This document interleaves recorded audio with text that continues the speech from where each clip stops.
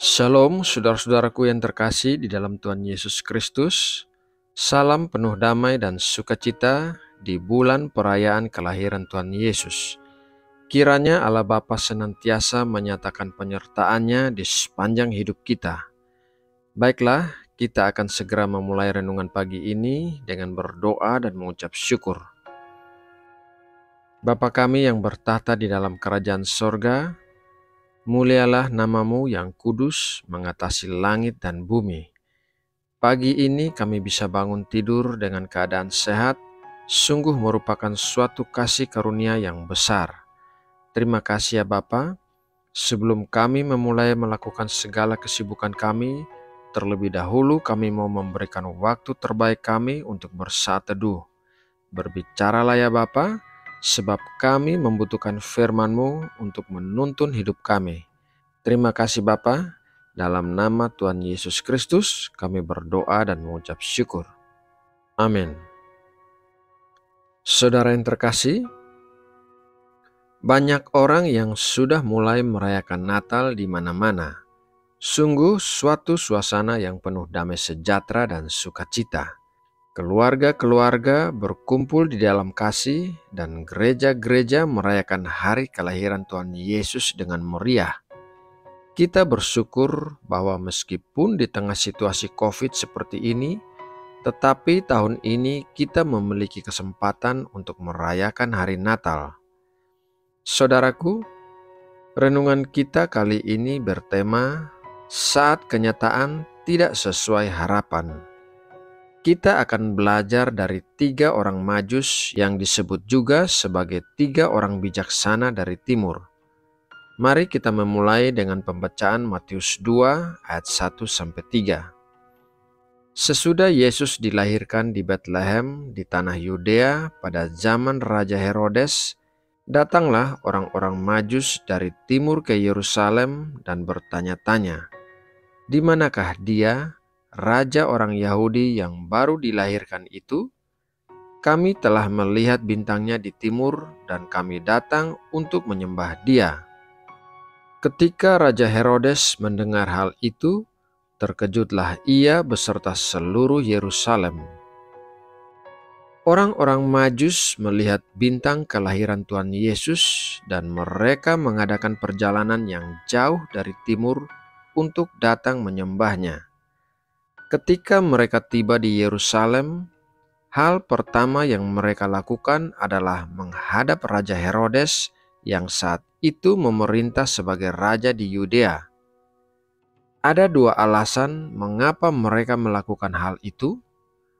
Alasan yang pertama, seperti halnya kebiasaan perjalanan orang asing, orang Majus harus menghadap kepada Raja Herodes untuk melaporkan maksud kedatangan mereka. Alasan yang kedua, orang-orang Majus datang untuk bertemu dengan raja orang Yahudi yang baru saja dilahirkan. Jadi, tempat mana lagi yang lebih cocok untuk bertemu seorang raja selain di istana raja? Di luar harapan orang-orang Majus, raja bangsa Yahudi yang baru dilahirkan itu berada di sebuah rumah biasa di Bethlehem, bukan di istana Raja Herodes. Ketika bintang yang menuntun mereka berhenti di atas rumah di mana Tuhan Yesus dan kedua orang tuanya berada, pastilah hal itu mengejutkan orang-orang Majus. Namun demikian, ketiga orang Majus tetap melanjutkan untuk masuk ke dalam rumah dan menyembah Tuhan Yesus serta memberikan persembahan mereka. Kita semua pasti mengalami kejadian seperti yang dialami oleh orang-orang Majus. Kita mengharapkan sesuatu, namun kenyataan yang kita lihat tidak sesuai dengan harapan kita. Kita berharap bertemu Tuhan di istana raja, tetapi ternyata Dia berada di sebuah rumah biasa. Kita berharap masalah yang kita alami bisa selesai dengan suatu cara tertentu, tetapi ternyata apa yang terjadi tidaklah sesuai dengan pengharapan kita, bahkan mungkin terlihat lebih buruk. Saudaraku, ada tiga hal yang bisa kita contoh dari orang-orang Majus ini, yaitu Hal yang pertama, tiga orang Majus bertemu Tuhan di sebuah rumah. Tiga orang Majus mungkin saja terkejut oleh kenyataan bahwa raja bangsa Yahudi berada di sebuah rumah biasa. Namun, mereka melanjutkan memasuki rumah itu karena tujuan mereka adalah untuk bertemu dengan Tuhan Yesus, tidak peduli situasi apa atau lingkungan seperti apa tempat Tuhan Yesus berada kita bisa belajar bahwa meskipun kenyataan dalam kehidupan tidaklah seperti apa yang kita harapkan, namun kita harus melihat keberadaan Tuhan dalam situasi tersebut. Jika kita sungguh-sungguh berusaha melihat keberadaan Tuhan dalam situasi yang sedang kita hadapi, maka kita pasti bisa bertemu dengannya, karena seperti apa yang tertulis dalam Matius 7 ayat 8. Karena setiap orang yang meminta menerima, dan setiap orang yang mencari mendapat, dan setiap orang yang mengetok baginya pintu dibukakan. Hal yang kedua, tiga orang majus memberikan pemberian yang terbaik kepada Tuhan. Matius 2 ayat 11 Maka masuklah mereka ke dalam rumah itu dan melihat anak itu bersama Maria ibunya, lalu sujud menyembah dia. Mereka pun membuka tempat harta bendanya dan mempersembahkan persembahan kepadanya, yaitu emas, kemenyan, dan mur. Kadangkala, jika suatu situasi tidak sesuai dengan pengharapan kita, kita merasa kecewa dan menarik diri dari Tuhan kita menolak memasuki sebuah rumah tempat Tuhan berada karena kita berharap untuk bertemu dengannya di istana raja. Apa yang bisa kita pelajari dari ketiga orang majus yang bijaksana ini adalah tetap memberikan pemberian yang terbaik kepada Tuhan terlepas dari betapa kecewanya kita atas kenyataan yang tidak sesuai dengan harapan.